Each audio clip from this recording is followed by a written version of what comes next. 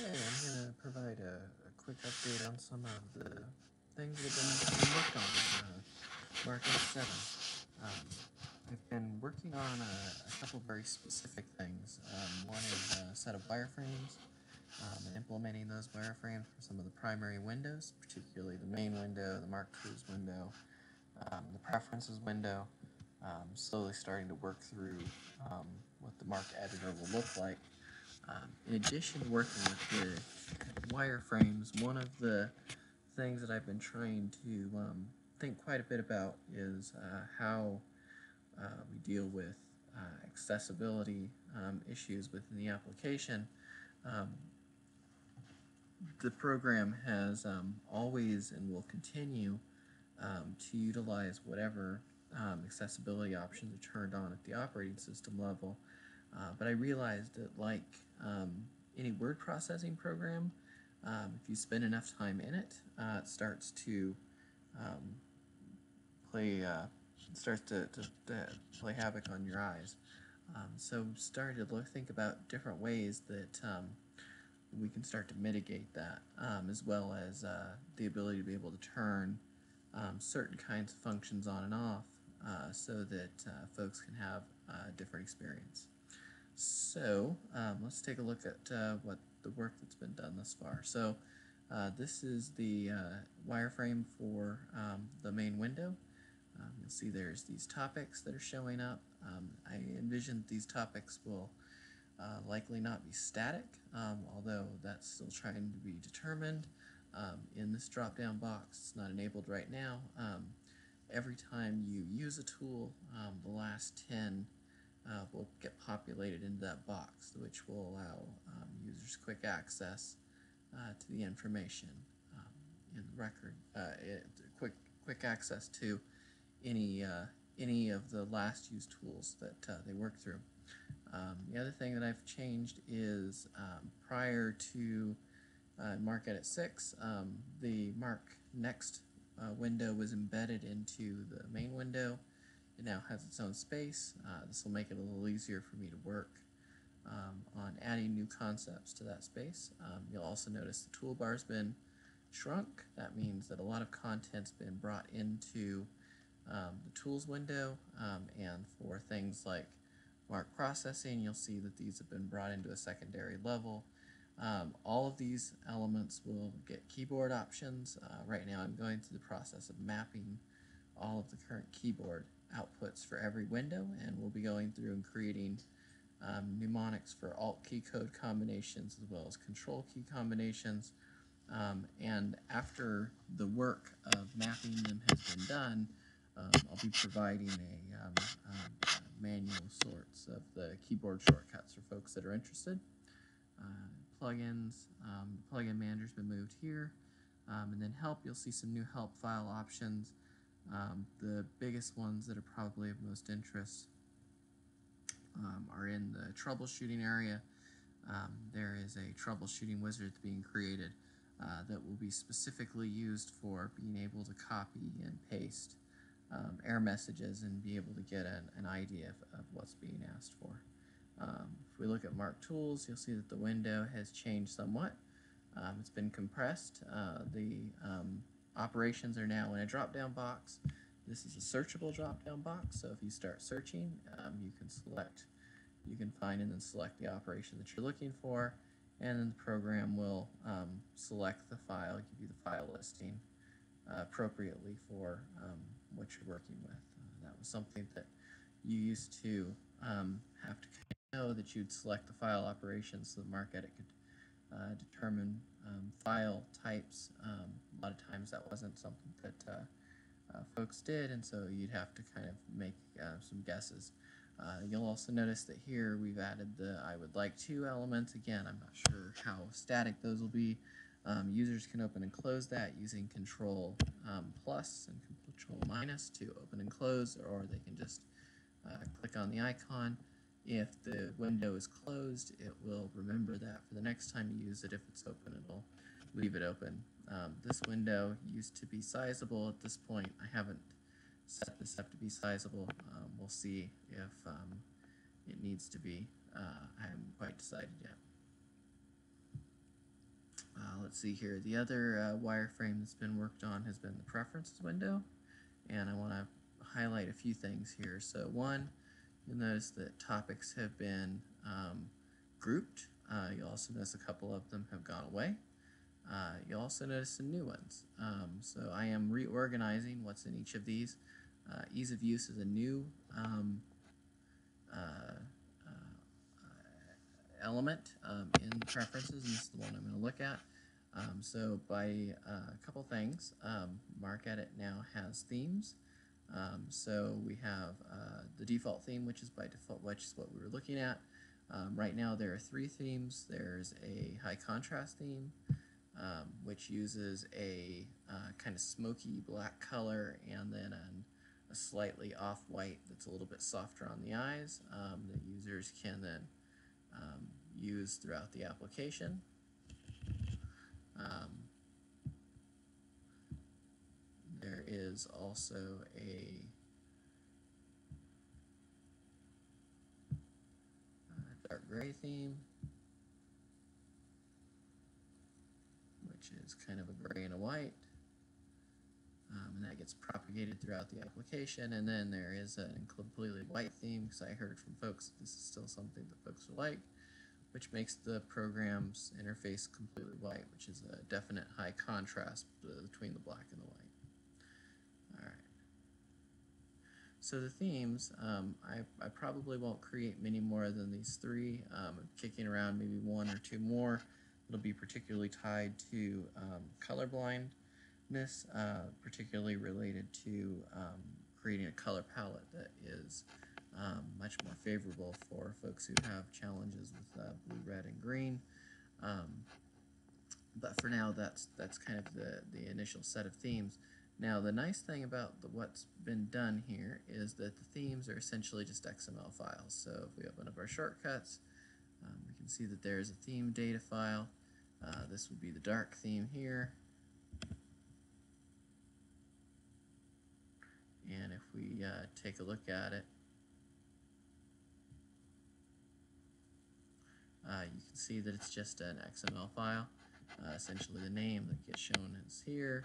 There's some global options that's set with uh, font color and background, um, elements for just the MarcEditor, so you can actually have um, a dark theme that's dark everywhere but the MarcEditor window. It could be white and black still, which is something I've heard often. Um, you have the ability to override fonts um, in the menus as well as um, links. So anywhere where you have a label that's clickable, that's a link, um, as well as setting the behavior. So the behavior by default in MarcEdit is no underline until you hover, but you can change that behavior. Um, I'll also be adding a couple of other options more I've been thinking about this, so the ability to be able to set the font size and uh, font um, uh, type here globally um, and if the, that's set in the theme, it'll override whatever the default MarcEdit settings are in the preferences. Um, I'm also kicking around the idea of being able to um, uh, modify things like uh, cursors and sounds, and I'll show you what I mean by that here in a minute. Um, so the other accessibility options that are being um, toyed around with, um, as I've been going through some, doing some reading, um, so one of the things that'll show up here is there will be a knowledge base article that's written. I've been spending a lot of time looking um, and documenting and cataloging um, different font types. So there's some open and proprietary fonts for folks who are dyslexic. Um, there are font types that um, are uh, better for uh, strictly Unicode. There are font types um, that have been designed uh, specifically um, with folks who happen to be have uh, color blindness challenges. Um, so um, one of the things I've been trying to do is sit down and start to catalog uh, where those resources exist and in uh, this window here, but also in the, the knowledge base that it lives on the MarcEdit website. Um, I'll be pointing to where you can get that information. Um, you'll also notice two actions here. Um, these are themes. Um, the Because the themes are essentially just XML files, um, you'll be able to create new themes. And the idea is that when new themes are created, um, I'll probably end up storing them so folks can look for them um, and download them. So at this point, I'm thinking that the theme creation will not be a standalone tool in MarcEdit, but actually be a web application. Um, that way it's really easy to um, handle um, the creation of the XML files, getting it into a database that's uh, shareable, um, and all just collect some uh, data that then we can send back um, to the application um, so that you can import uh, the theme data that you either create or have found in the uh, system. So the two other parts um, that I've been working on are feedback back options. So by default, you'll notice when you click on these buttons, no sounds happen. Um, for some folks, um, the ability to have that feedback um, is important. Um, nothing in the application is uh, is uh, done because of a sound um, or because of a color. I tried to keep them neutral, um, but I have found that some, some folks uh, would like to have the, um, the, the, the, feedback um, that something has happened, some kind of click has happened. So if you check this option, um, anytime you click a button or a control, um, anything that performs an action will provide a sound. I'll show you what that looks like. Um, I haven't turned this one on, um, but this one here, um, MarcEdit, um, I'm slowly going through and adding um, uh, accessibility names, uh, almost like alt tags and descriptions to everything that's not text. So all of the, uh, the images. Um, and what that means is, so let me go ahead and say okay, is that in a, a screen reader environment or in a just a a place where you'd like to, to see what these icons mean, um, you can now highlight them and the program will pull um, those accessible um, titles and descriptions and put them on the screen. So it has the description, it'll put them there with the, the title of the tool. For the user-defined tools, there's no descriptions because I don't know what those are going to be, so you just get the name of the tool. Um, for um, other ones, though, you get the those descriptions, so you can see anywhere where there's a picture, um, you see the um, that information shows up.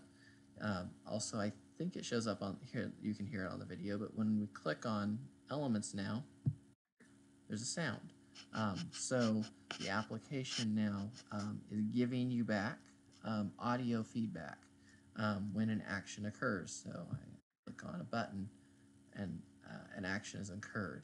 I click on a link and an action has occurred. So I start to get um, uh, both visual and audio feedback um, that something is occurring uh, in the um, in the set. And these sounds um, live in the theme folder, so they have to be WAV files um, because of the way that uh, uh, the application works. Um, so I have uh, these two WAV files here, um, and I will likely include a couple more.